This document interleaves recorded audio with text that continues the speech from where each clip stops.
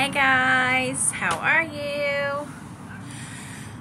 I am doing really well today. I had a really, really bad day yesterday, but it's okay. All is well with the world now. I'm feeling much better today. So, um, I'm sitting on my front porch on my, my steps, just uh, kind of getting some fresh air. And, um, it's really nice out today. It's a little cool, but it's not extremely cold unless the wind starts blowing and it's a little brr. Um, but the sun's out, as you can tell.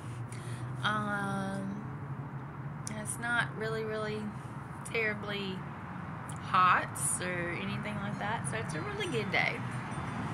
Um, I'm just chilling outside and um, reading my library book. Yes, I go to the library. Um, my book. I love historical fiction. So, this is my book that I'm reading now. It's called Tobacco Wives by Adele Myers. And I'm just starting it, so I'll let you know how it goes.